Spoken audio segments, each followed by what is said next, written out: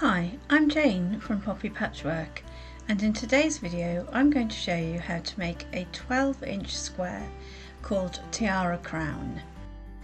For this you are going to need four three and a half inch squares in background fabric and four two and three quarter inch squares in background fabric. In fabric A you're going to need four 2 inch squares, one 4 and 3 quarter inch square and 8 3 and a half inch squares. In fabric B you're going to need one 7 and 3 quarter inch square and one 3 and a half inch square. In fabric C you're going to need one 4 and a quarter inch square. Before we get started I'd just like to say thank you for liking, watching, commenting and subscribing to my YouTube channel. It's just amazing how my channel has grown and I'm really thankful for all the wonderful and kind comments. It really inspires me to keep going and make more videos. I've designed this quilt block notebook which I use when I'm planning out the blocks that I'm going to do videos for and you may find it useful. You can buy it from Amazon and if you scan this code using your phone, it'll take you straight to the Amazon page for it. Now, let's get quilting. I've called this block Tiara Crown and I've designed it myself and it needs um, small flying geese and also larger flying geese which have the corners flipped and I will show you how to do this in the video.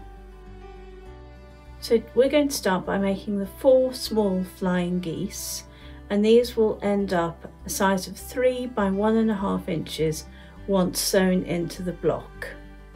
And I'm going to show you the four at a time method. So for this, we're going to need the four and three quarter inch square in fabric A, and we're going to need four of the two and three quarter inch squares in the background fabric.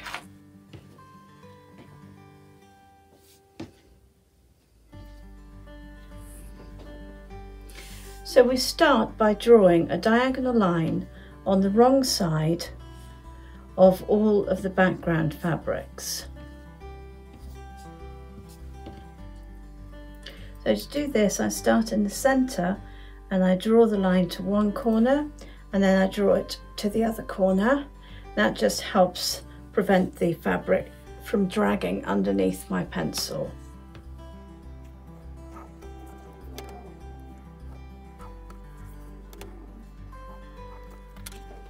And then once we've done that, we place two of these. Doesn't look right at all.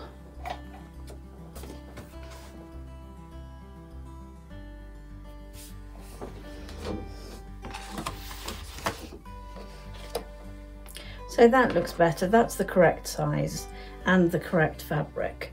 So that's better. So what we do with this is we place one of these background fabrics in a corner. And I'm just going to pop a pin in that. And then you place a second one in the opposite corner and the diagonal line that you've drawn should form a straight line across the centre of the block. So I'm going to take that over to the sewing machine and I'm going to sew a line of stitching a quarter inch away from the line on both sides of the line.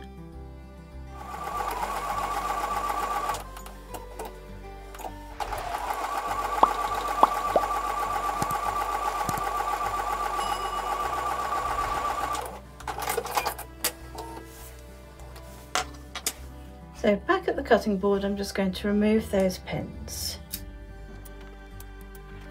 And now I'm going to cut along the drawn line.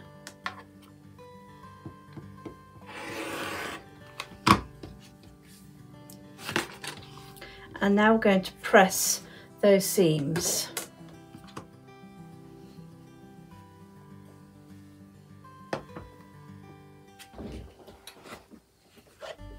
So I'm going to begin by setting the seam and then pressing the seams towards the smaller triangles.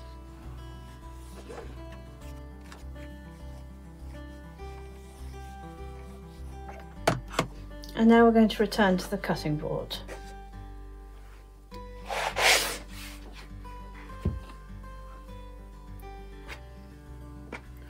So with the other two squares, we're going to place one of these in the corner. And we're going to make sure that that diagonal line runs down through the center of these two other triangles.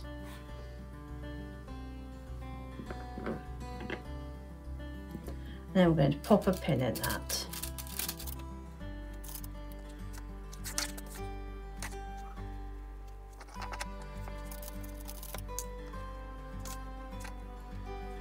So I'm going to take these over to the sewing machine and I'm going to sew once again on both sides of the line a quarter inch away from the line.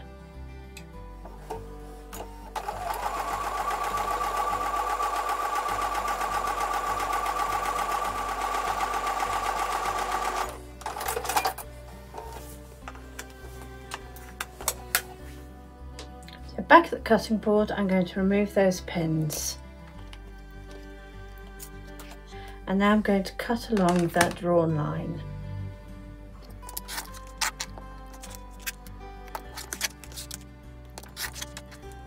And then I'm going to press those seams. So once again I'm going to set the seams and press the seams towards the small triangle.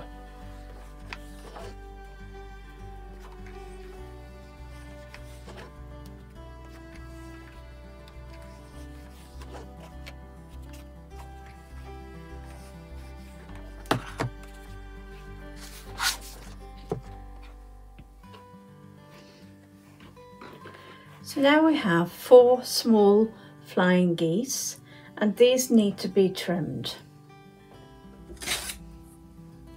I like to use this flying geese ruler. It's called the Ultimate Flying Geese tool and it's um, produced by Creative Grids.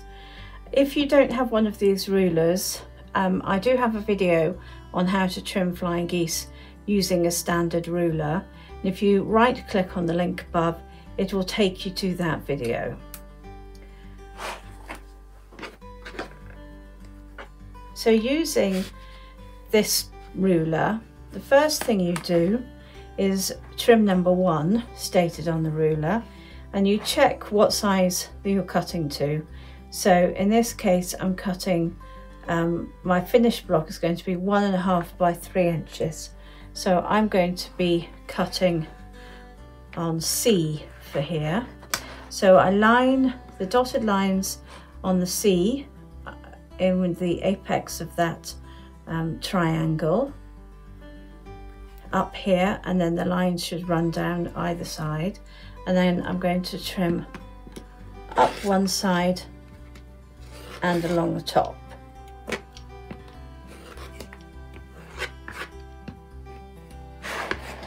And then I'm going to rotate the ruler around and I'm going to rotate the unit around. And again I'm going to line the uh, dotted lines on the ruler with the apex of the triangle. And I'm going to cut up one side and along the top So there you've got a beautifully trimmed half square triangle. I'll put onto the video the size that you need to trim it if you are using a standard ruler.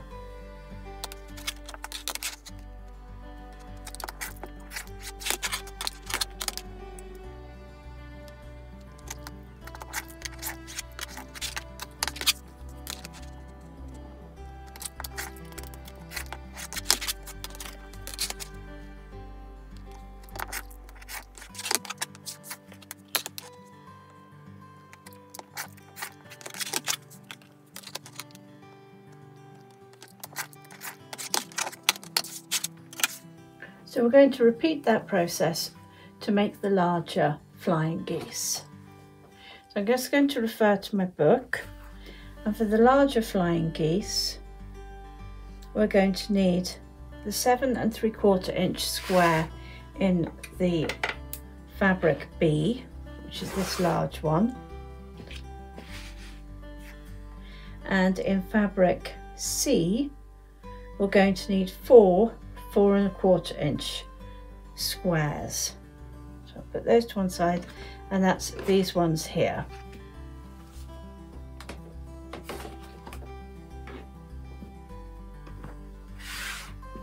So like we did before we're going to draw a diagonal line on the wrong side of these small square fabrics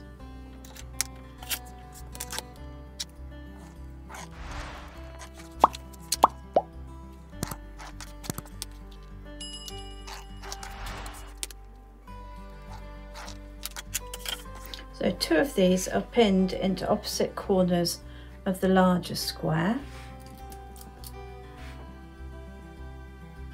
With that diagonal line running across the centre of the square.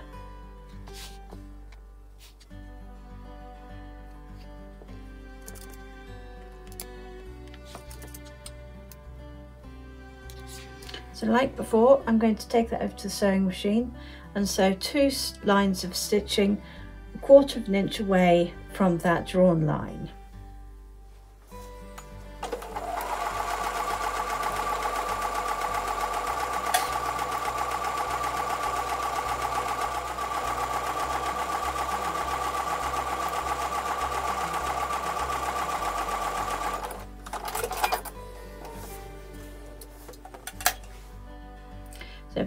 Cutting board, I'm just going to remove those pins. And then I'm going to cut along the drawn line.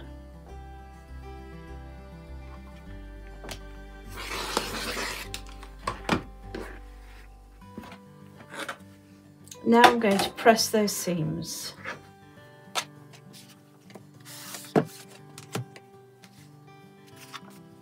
I'm going to start by setting the seams and then pressing the seams towards the smaller triangles.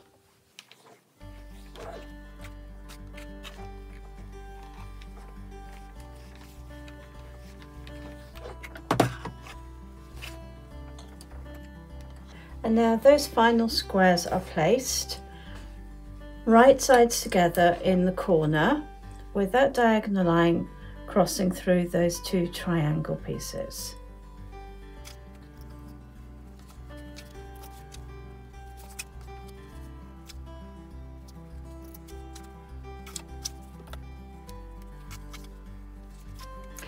So now I'm going to go back to the sewing machine to sew those two lines of stitching.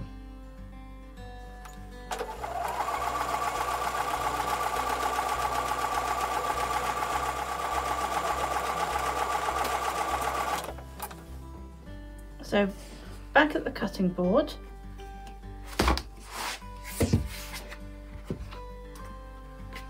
I'm going to remove the pins and then cut through that drawn line.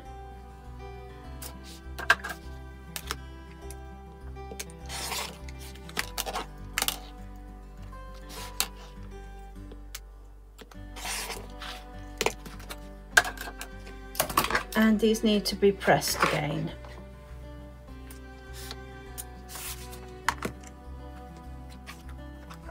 So we'll set the seam and then press the seams towards the smaller triangle.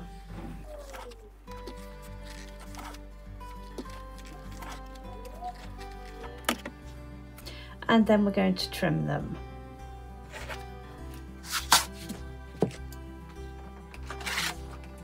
So this time we're trimming them to um, a finished size of 3 by 6 and on this ruler that's following the F lines.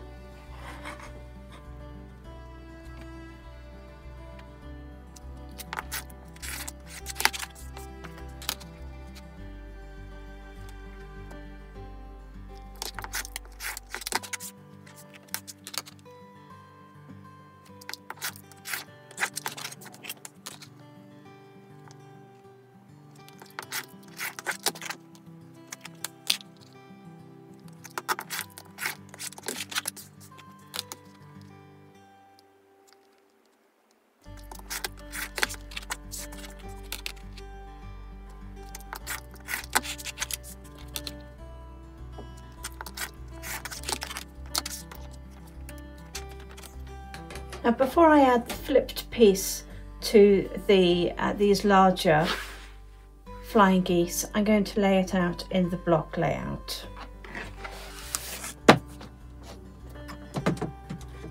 I'm going to refer to my notebook and see what I wrote out in that.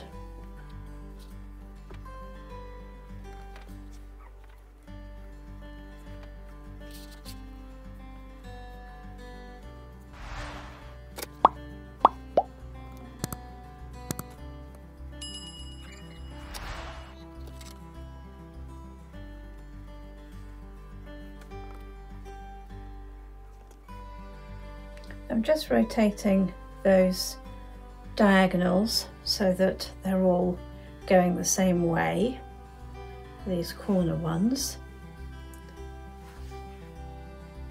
And then um, checking I've got it all the right way. Yes, so what's going to happen is these three and a half inch squares, we're going to use half of them and they are going to how they're going to look? Let's see. I think these go this way round. This is why it's important to lay it out, otherwise you'll end up sewing the squares on in the wrong place. So that's better. So these are going to be, we're going to use the diagonals and they are going to come along and be placed like that. So the first thing I need to do is draw a diagonal line on the wrong side of these eight three and a half inch squares. So I'll just move these out slightly I'll probably have to put it back into block layout again. Um, so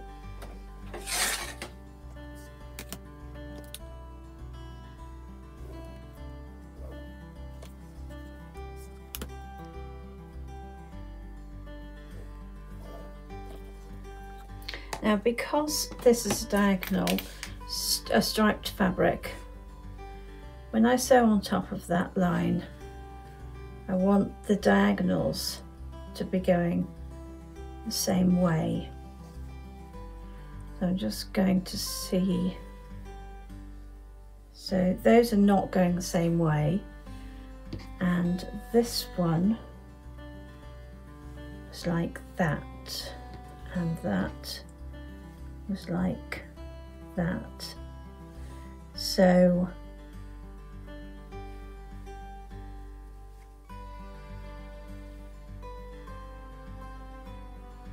can have it like that, but I don't think that's right. We can have it like that. But again, I don't think that's right. We can have it like that.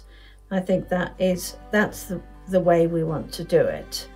So that means that the diagonal has to run this way down across the diagonals, if you can see them. If you don't have diagonal fabric, you won't have this matching to do. So let me have a look. So this one was drawn on the wrong way round. So I'm going to redraw that line. And now for all the other ones, I'm going to make sure they're the same as this one here. So I'm going to lay the diagonals in the same direction and then draw the diagonal line across the right diagonal of the block.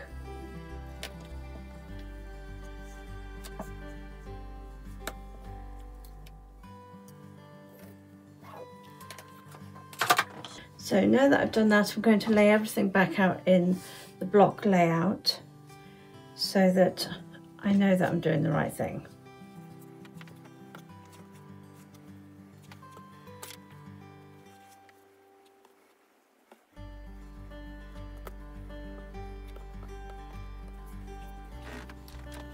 Okay, so this one is going to be pinned in this corner here of the block. And when I and then you will cut this piece off here and this will flip back. So I'm flipping that back to make sure that the diagonals are going in the correct direction. And they are. So I'm going to pop a pin in here and a pin in here and when I take that over to the sewing machine I will sew on top of that drawn line. I'm going to do that with the other three flying geese.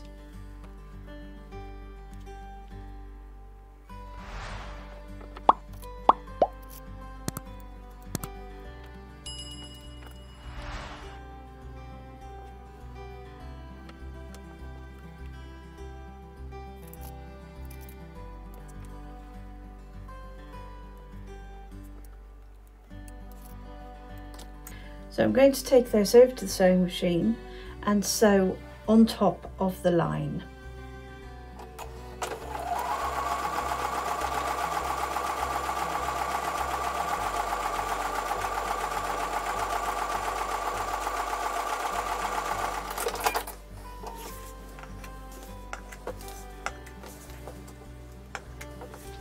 I've sewn on top of that line and now what I need to do is line the quarter inch line of the ruler up on that line and then cut a quarter inch away from that line which is what I've done already. And you can see this is the corner piece that I've cut away. So we just put those to one side and then what happens is this piece needs to get pressed over to one side so I've done that with all of these and now we have to take them to the um, ironing mat to press them.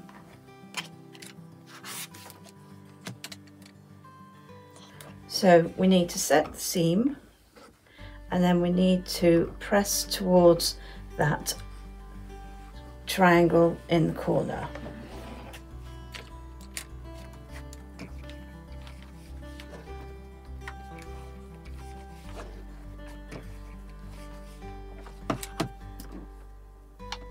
So now that these are pressed, we need to repeat the process on the other side. So I'm going to take my other square, I'm going to place it right sides together and um, we don't want the line following the stitch line here that we already have. It needs to be going in the other direction. So that drawn line needs to kind of cross over this piece that we've already done. Now before I pin it in place, I want to make sure if I've actually drawn that line in the right place. So I'm going to flick that back and yes, I'm quite happy with that. So I've got the lines coming in this way and then in this way. So they're kind of opposite in terms of how the lines are looking. So I'm going to pin these all in place before I take them over to the sewing machine where I'll sew on top of that line again.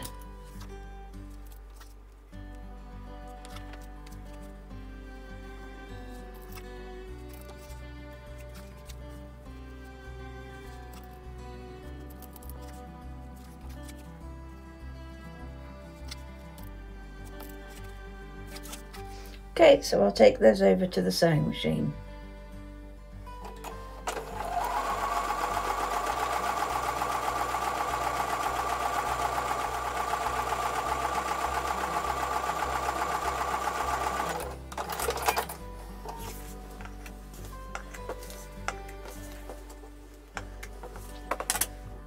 So I'm going to remove the pins from these and then I'm going to cut a quarter inch away from the line.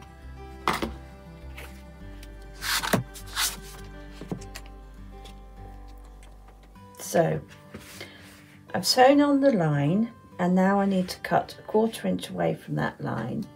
So I'm going to get my ruler and I'm going to line the quarter inch line of the ruler on top of the sewn line and then I'm going to cut along here and this piece gets discarded and this piece gets folded back over.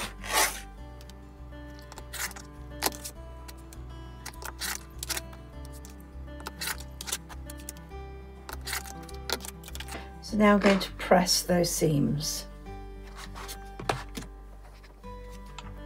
So we start by setting the seam and then pressing that triangle into the corner.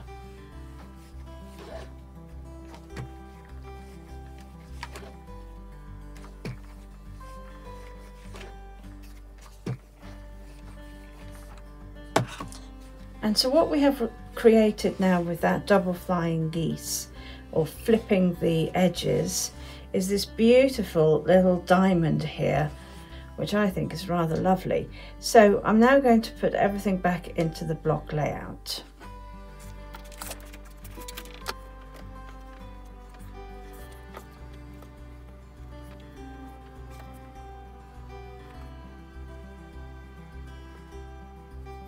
Just going to check the diagram that I drew in my notebook. And I've got these the wrong way around, so these need to be this way around.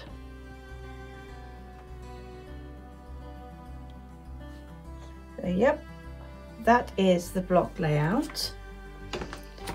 So the first thing I'm going to do is sew together this centerpiece here. And I'm just going to have a look at the orientation of the lines on my diagonals. Um, I'm not going to get them all going the same way Yep, I think I'm going to go with that. So I'm going to start by sewing the um, sewing them in columns. to create this little centerpiece in the block.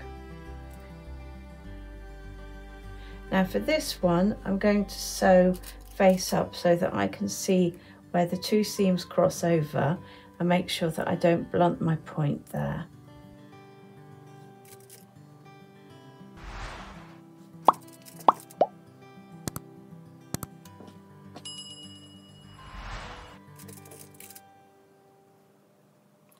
and I can also pop these on the other end and sew them all at the same time.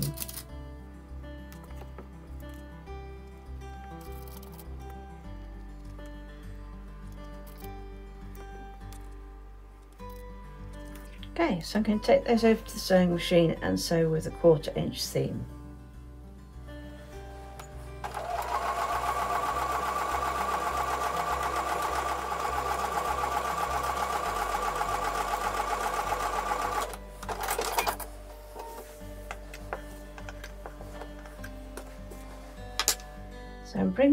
Back and I'm just going to line them, lay them down in the block order so that I can decide which way I want to press the seams.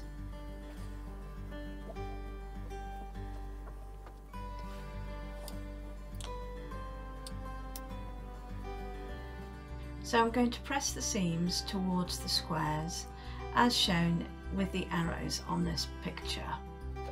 So I'm going to set the seam and then press towards the little square.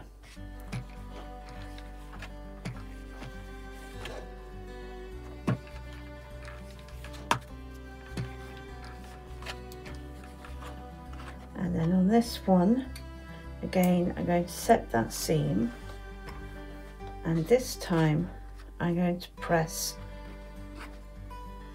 towards the center square.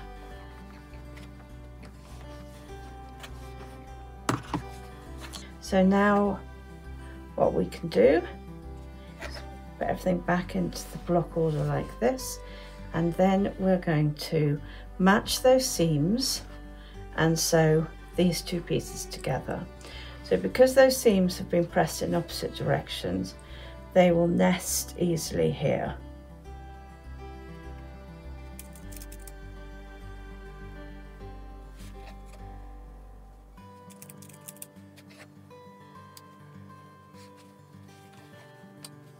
And once again, I will sew with this piece facing me so that I can see the stitching and make sure I don't blunt that point.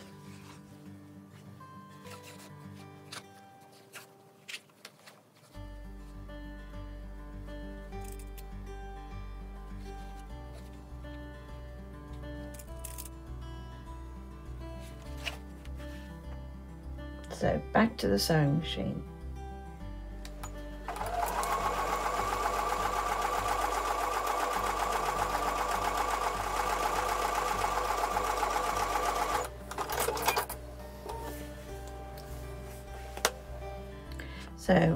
Over from the sewing machine and I've decided I'm going to press these seams open for a flatter finish.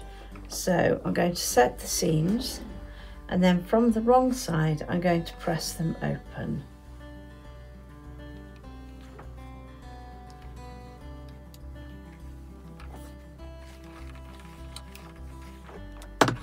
There we go, that is the centre part of the block and it's looking really nice.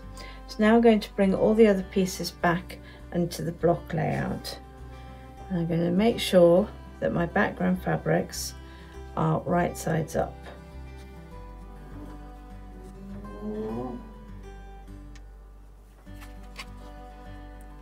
And then we're going to put these lovely double flying geese onto the block layout as well.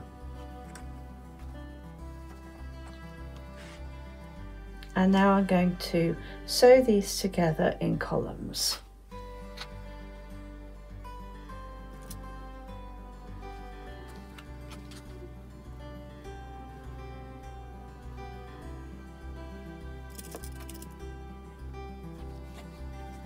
Now on this piece we don't want to uh, blunt these two points but we also don't want to blunt this point here.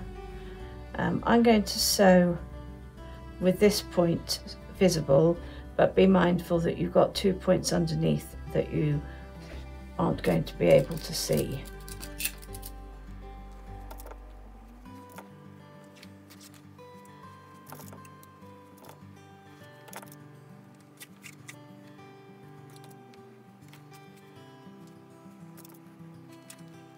Okay, so back over to the sewing machine and sew with the quarter inch seam.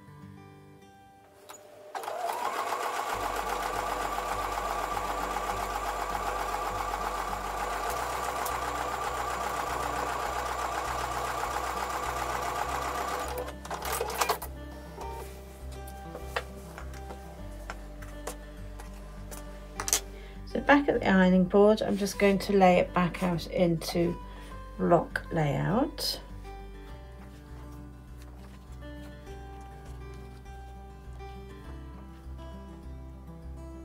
So I'm going to press the seams. Um, this seam is going to go upwards towards the corner square and this one's going to come down towards the corner square and same on this side and here in the middle I'm going to press the seams in towards this middle block and that will help me nest all these seams together. So start by setting the seams and then pressing towards that corner block. Now this center one, we're going to press towards that center block. So I need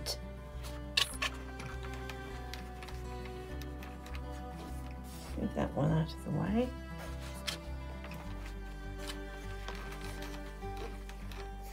And now do the final strip.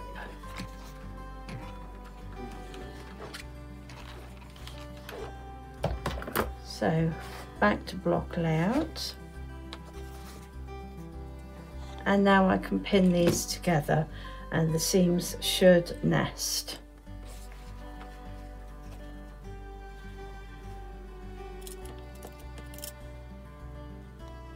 And once again, I'm going to sew so that I can see both of these seams intersecting so that I don't blunt that point.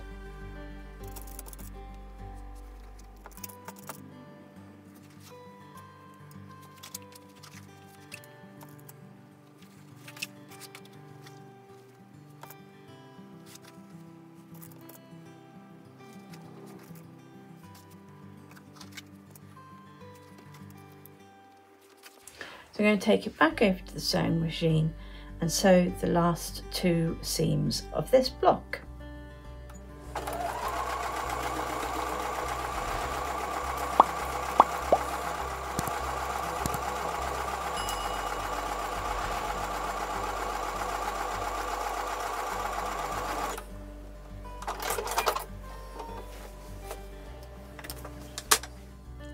So I'm now going to set these seams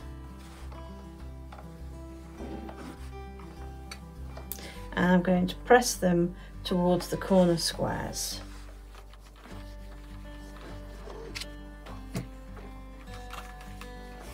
And then give the block a nice good press.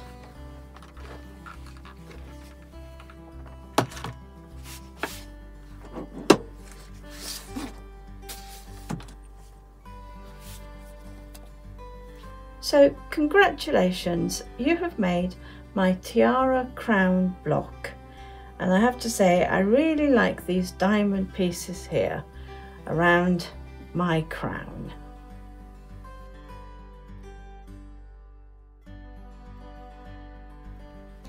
Here are some quilt options. This is an illustration of the quilt repeating the same block. There is no sashing or borders but the use of the white background fabric in the block allows the design and fabrics to stand out. This is an illustration of the quilt repeating the same block placed on point. There is no sashing or borders, but you would need to add blocks in background fabric in between the blocks, shown here with the stars. And add setting triangles around the edges again shown here with the stars. This is an illustration of the quilt repeating the same block but with sashing, cornerstones and borders. And finally this is an illustration of a sampler quilt using some of the blocks from this quilt block series. The sashing in this quilt is in the white background fabric. The cornerstones and border is in a darker fabric to pop and frame the quilt. Want to learn more? Watch another one of my videos from the Quilt Block series. Click above to go to my playlist.